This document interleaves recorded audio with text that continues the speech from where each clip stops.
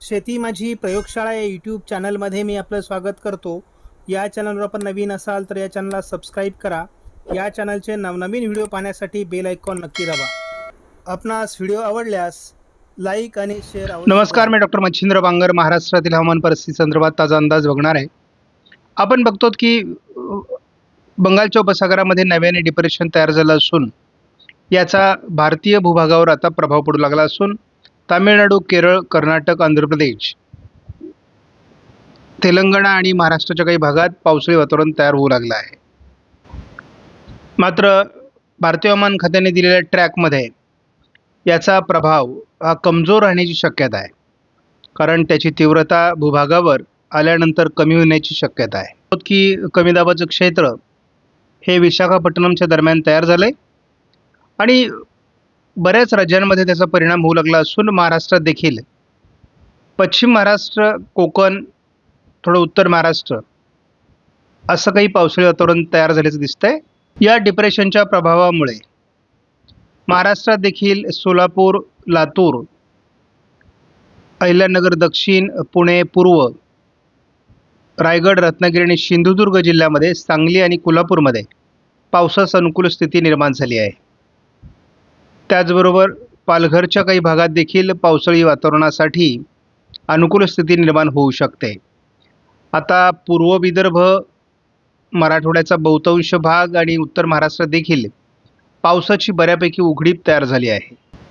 जी F S मॉडेलनुसार उद्याही महाराष्ट्रात थोडं मराठवाड्याचा दक्षिणी भाग पश्चिम महाराष्ट्राचा दक्षिणी भाग आणि दक्षिण कोकण असं पावसाळी वातावरण राहील. इतरत्र फारसं पावसाळी वातावरण राहणार नाही. महाराष्ट्रात ढगाळ परिस्थिती थोडी वाढू शकते अठरा तारखेला. मात्र पश्चिम महाराष्ट्र दक्षिण कोकणात पावसात जोर वाढू शकतो. प्रत्यक्ष महाराष्ट्रात पावसाची शक्यता ही एकोणीस तारखेला आहे. यामध्ये विदर्भाचा दक्षिणी भाग संपूर्ण विदर्भ संपूर्ण मराठवाडा मध्य महाराष्ट्र पश्चिम महाराष्ट्र आणि कोकण असं हे पावसाळी वातावरण राहणार आहे. हे वातावरण वीस तारखेलाही महाराष्ट्रात बऱ्याच भागात राहण्याची शक्यता आहे. मात्र हे विरळ स्वरूपात आणि भाग बदलत अशा प्रकारचं असणार आहे. याचा प्रभाव बावीस तारखेला विदर्भातून आणि उत्तर महाराष्ट्रातून संपेल. केवळ मराठवाडा मध्य महाराष्ट्र पश्चिम महाराष्ट्र कोकण असंच त्याचा प्रभाव राहणार आहे.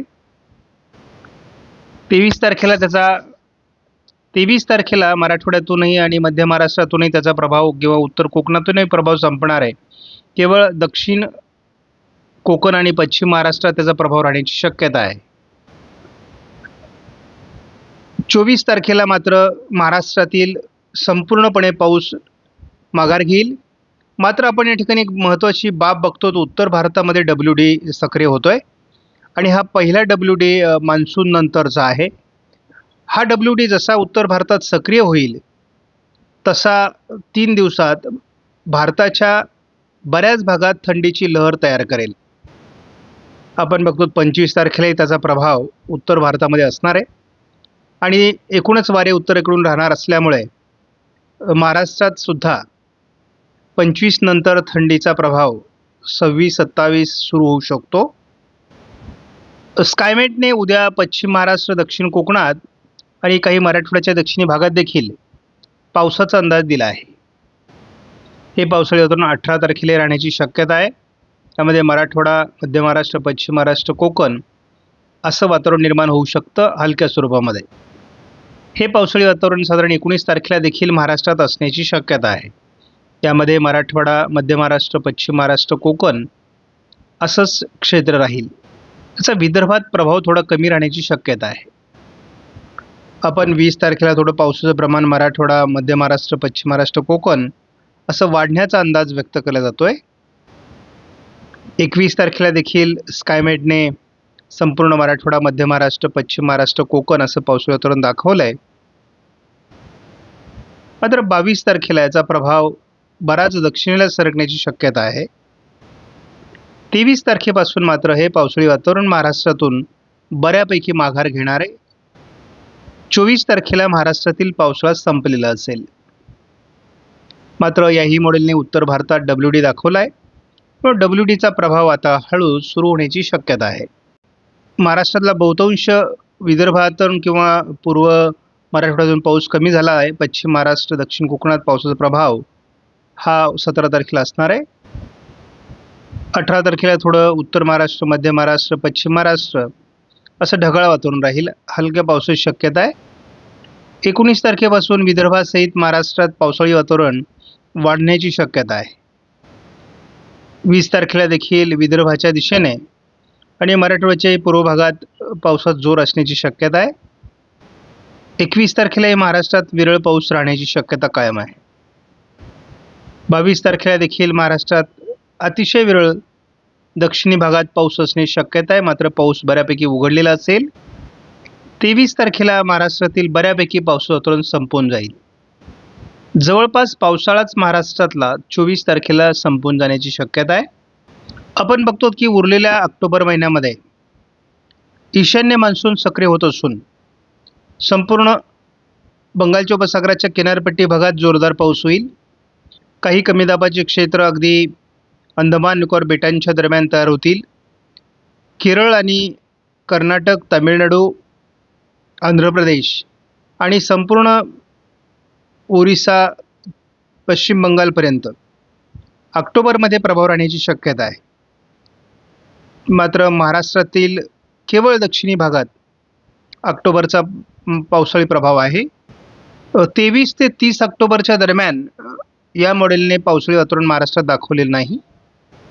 जवळपास वीस नोव्हेंबरपर्यंत कोणत्याही प्रकारचं पावसाळी वातावरण महाराष्ट्रात राहणार नाही. मात्र पुन्हा एक वादळी परिस्थिती श्रीलंकेच्या आजूबाजूने तयार होण्याची शक्यता वीस नोव्हेंबर ते सत्तावीस नोव्हेंबरच्या दरम्यान आहे. त्यामुळे थोडं कोकण किनारपट्टीला ढगाळ वातावरण निर्माण होऊ शकतं. नोव्हेंबर डिसेंबरमध्ये तसा फारसा पावसाळी वातावरण कोणत्याही मॉडेलने दाखवलेलं नाही. केवळ हे एक मॉ एक केवळ हे एकमेव मॉडेल आहे ज्याने ऑक्टोबरमध्ये महाराष्ट्रामध्ये जोरदार पावसाचा प्रभाव दाखवलेला आहे. नोव्हेंबरमध्ये देखील हलकं पावसाळी वातावरण महाराष्ट्रामध्ये दाखवण्यात आलेलं आहे आणि दक्षिणी भागात म्हणजे पश्चिम महाराष्ट्र मराठवाड्याचा दक्षिणी भाग आणि दक्षिण कोकणात याचा प्रभाव असू शकतो हलक्या स्वरूपामध्ये. डिसेंबरमध्ये मात्र कुठल्याही पावसाची परिस्थिती या मॉडेलने दाखवलेली नाही. एम एम ई मॉडेलने देखील नोव्हेंबर महिन्यामध्ये पावसाची शक्यता हलक्या स्वरूपात महाराष्ट्रात दाखवली आहे. मात्र डिसेंबरमध्ये कोणतंही पावसाळी वातावरण महाराष्ट्रात राहील असा कुठलाही अंदाज नाही. सध्या आपण महाराष्ट्रामध्ये सोलापूर लातूर धाराशिव पुणे सातारा रायगड रत्नागिरी सिंधुदुर्ग अगदी गोव्यापर्यंत जोरदार पावसाळी परिस्थिती कोल्हापूर आणि सांगलीमध्ये देखील विरळ स्वरूपात वातावरण निर्माण होत आहे. आणि त्यामुळे एकूणच या परिस्थितीमध्ये दक्षिण कोकण पश्चिम महाराष्ट्रामध्ये त्याचबरोबर नाशिक पश्चिमच्या पालघरच्या काही भागात पावसाळी वातावरण तयार होण्याची शक्यता आहे. मराठवाड्याचा बाकी भाग आणि विदर्भात मात्र याचा फारसा प्रभाव जाणवणार येणार नाही. महाराष्ट्रामध्ये साधारण आपण वीस पंचवीस तारखेपर्यंत जरी अंदाज घेतला तरी विरळ पावसाची शक्यता अजून कायम आहे. मात्र पावसाचा जोर आता कमी होण्याचे संकेत आहेत.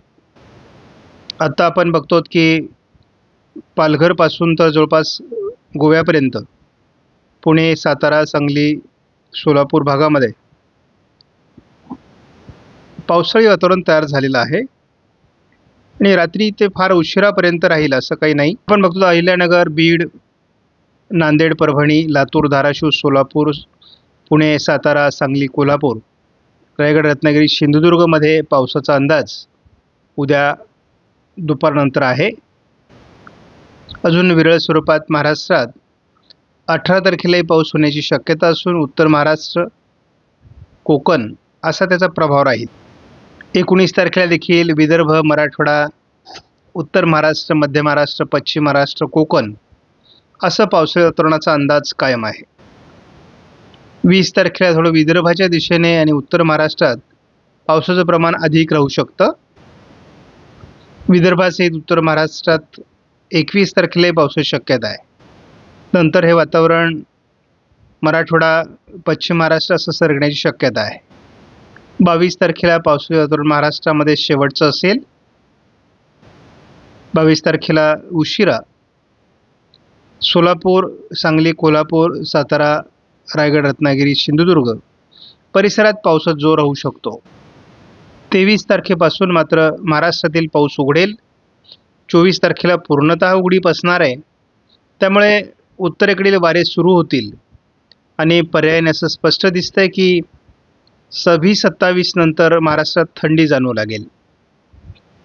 आपणास व्हिडिओमधील माहिती महत्त्वपूर्ण वाटल्यास लाईक करा शेअर करा चॅनलला सबस्क्राईब करा. धन्यवाद. जय हिंद जय महाराष्ट्र जय बळे